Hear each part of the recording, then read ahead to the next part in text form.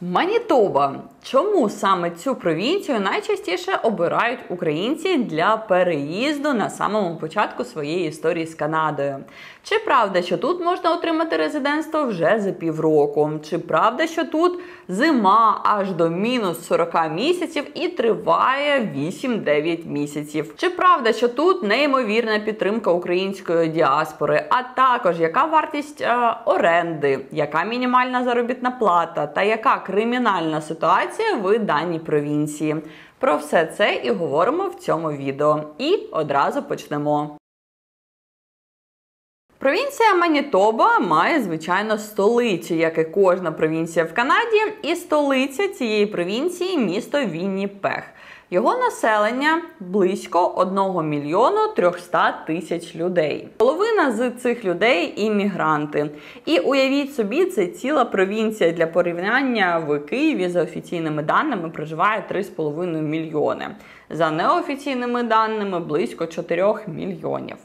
І так, Вінніпек – це головний економічний центр провінції, в якому проживає більше половини всього населення, а саме близько 650 тисяч людей. В інших містах провінції проживає менше 50 тисяч людей. Цілому Манітоба розташована в центральній частині Канади між Онтаріо та Саскачеваном і займає близько 6,5% від усієї площі Канади. У провінції Манітоба багато озер, які займають близько 16% усієї території провінції. І так, якщо говорити про їх кількість, то це понад 110 тисяч озер. І найпопулярніші з них так і називаються озеро Вінніпех і озеро Манітоба. До речі, озеро Вінніпех 10 за величиною прісноводне озеро у світі. Також 48% площі провінції Манітоба вкрито лісами. Ну і звичайно, у провінції в цілому дуже багато парків. Основними галузями економіки провінції є видобуток корисних копалин, сільське господарство і виробництво. Також, якщо говорити про індустріальний центр Манітоби, то він розташований звичайно так само у місті Вінніпех. Офіційна мова провінції англійська. Якщо говорити про кримінальну ситуацію в даній провінції, то в цілому Манітоба вважається далеко не найбезпечнішою провінцією. Є один ресурс, на якому я дивлюся рейтинг 67 міст найпопулярніших в США та Канаді на першій сходинці знаходиться найбільш небезпечне місто, а на 70-й сходинці, відповідно, більш безпечне. Вінніпех тут посідає лише 20-ту сходинку. Для прикладу, місто Квебек, Монреаль, Калгарі знаходяться вище ніж 59-та сходинка. Також здебільшого злочини, які відбуваються у цій провінції е, в місті Вінніпех, звичайно, вони відбуваються найчастіше, і вони відбуваються зазвичай в певних районах. Якщо говорити про часовий пояс, різницю в часі з Києвом, то у Вінніпезі на ну в цілому провінції Манітоба на 8 годин назад. Тобто, коли у Києві там 18.00 в провінції Манітоба лише 10 ранку. Мінімальна заробітна плата в цій провінції, в кожній провінції, в цілому в Канаді, своя мінімальна заробітна плата, рахується вона погодинно, і це до вирахування податків. На момент зйомки цього відео мінімальна заробітна плата в Манітобі 13,5 канадських доларів за годину відповідно. При цьому в цій провінції співвідношення заробітної плати і витрат на життя нормальне. Наприклад, у середньому однокімнатна квартира у Вінніпезі зараз коштує за one bedroom приблизно 1260 один канадський долар, а двобедромні, точніше, у середньому 1637. Але так само можна знайти, звичайно, і більш дешеве житло. Звичайно, тут все залежить від району та самих апартаментів. До речі, посилання, на якому я дивлюся інформацію, вона тут оновлюється кожного місяця. Я залишу також в описі до цього відео. Середній дохід у Манітобі на рік, це статистика за 22 рік, склав 49,5 тисяч канадських доларів. Стосовно освіти, якщо ми говоримо про освіту, то в цій провінції близько 100 шкіл, також функціонує 5 державних університетів, і 4 з них розташовані у Вінніпезі, а один у місті Брандоні. Стосовно податків, Канада має федеральний устрій, і всі податки поділяються на дві частини: федеральна частина та провінційна. Федеральний податок відповідно для всіх провінцій один, а провінційний в кожній провінції свій. А ви на екрані зараз бачите федеральний податок у 2023 році. Це оновлена інформація.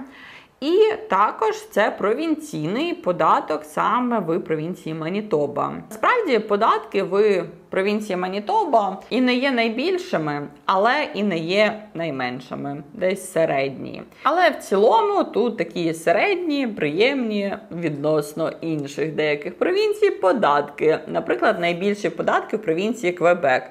І для багатьох відсоток цього податку реально є причиною для того, щоб переїхати з цієї провінції до іншої. Але повертаємось до провінції Манітоба і поговоримо про погоду.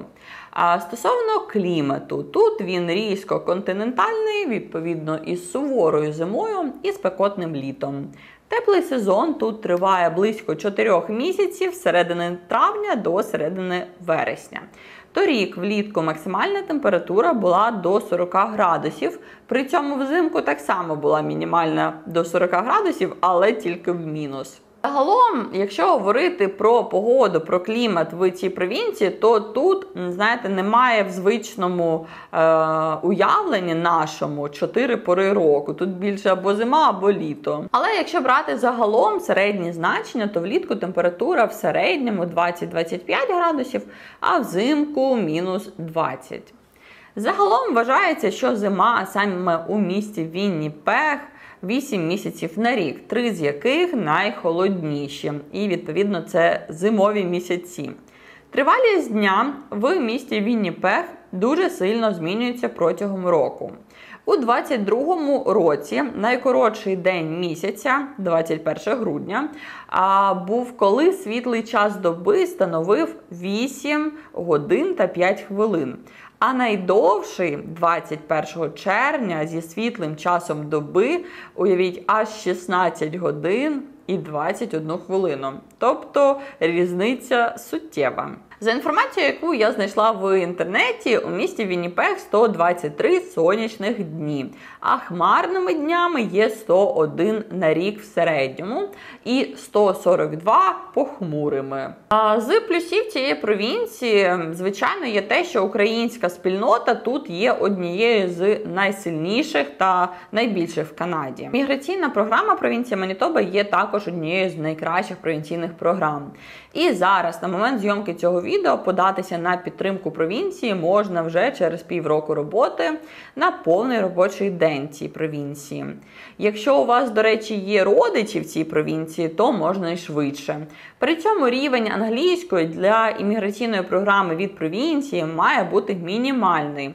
А саме відповідати рівню CLB 4. Це вкрай низький рівень. На мою скромну думку, провінція Манітоба є однією з двох провінції, де найлегше отримати резидентство. Саме тому і сюди їдуть найчастіше. Ми говорили детальніше з вами, навіть в одному з відео рахували, скільки мінімально.